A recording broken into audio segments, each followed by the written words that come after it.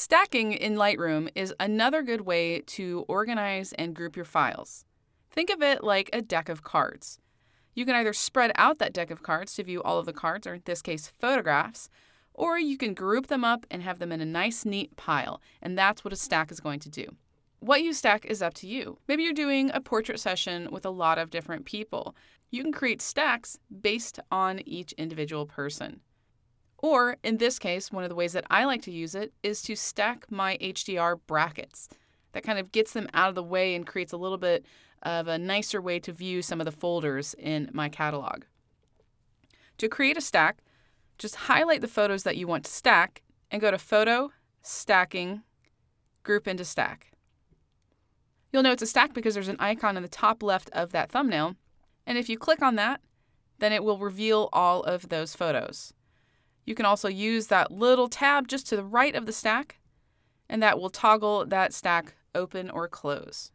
You can also right click to access those stacking options.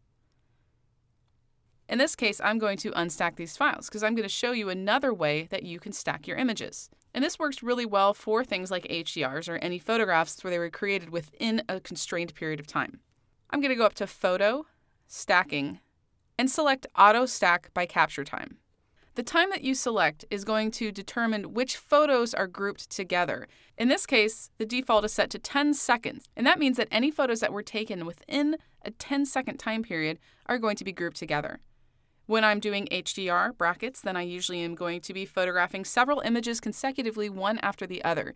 10 seconds might be a little too low, depending on the photos I'm taking, so I might increase this up to, let's try 20 seconds.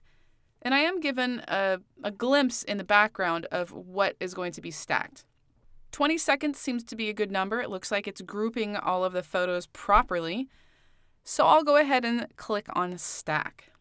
It stacked all of the photos, but it left them all expanded. And I can kind of scroll through and, and show you all of the stacks that it's created. If I want to collapse all of these stacks, I can just right click, select Stacking, and choose Collapse All Stacks. Now you can see in this representation that I only have a handful of compositions that I've created. They're just all grouped into individual stacks.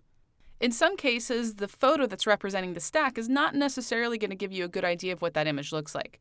In these cases, you'll want to expand the stack and then click and drag the photo that you like best over to the very top image.